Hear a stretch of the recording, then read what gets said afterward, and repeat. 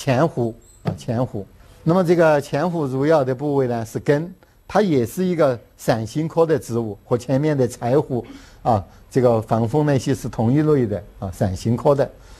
这个前弧呢，它的这个祛痰止咳的作用呢，和桔梗呢是相似的，或者和前面的白钱都是相似的。只不过白钱悬浮花呢是偏温的，它是偏寒的。那么实际上的这个寒性是不明显，那么也是对于咳嗽痰多或者咳喘痰多，也是不能寒热虚实，都可以选择使用，主要作为一个祛痰药啊，也是没有消痰的作用。从玄附花、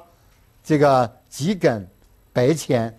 到这个前附这四味药，它都是祛痰的，没有消痰，所以一般不用化痰这个术语。那么这个前附比较特殊的。就是第二个功效，它又是一个解表药，在解表药当中呢，它属于发散风热的药啊，发散风热的药。当然，它的发散风热的作用不强，比较弱的。如果这个功效比较强，肯定就把它放在了解表药啊。它相对于它的祛痰作用或者止咳作用比较次，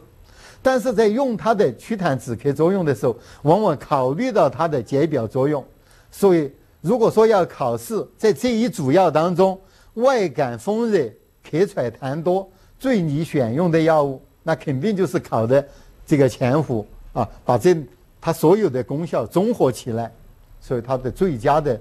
主治外感风热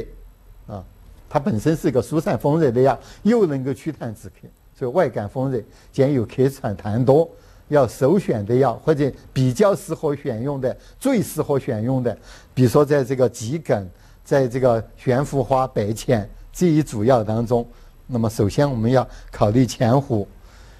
前伏和柴胡。那么在有的医生开处方的时候就称为二胡啊，各用多少？那么这两个药呢，相似性是比较小的，它的来源啊，那虽然都是伞形科，但是它。这个相似性很小，那么微微的有一个相同的，都有解表的作用，啊，财富和钱富都有解表的作用。比如说在拜读散那一类，财富钱富同用，啊，同用，就这么一点相似的，啊，不同的是主要的，因为前伏更主要的是功效是祛痰止咳，那么柴胡除了作为解表退热以外，那么疏这个疏肝解郁和生阳举陷。是很重要的功效，那么它偏于升伏的，也也是兼有沉降的啊，兼有沉降，在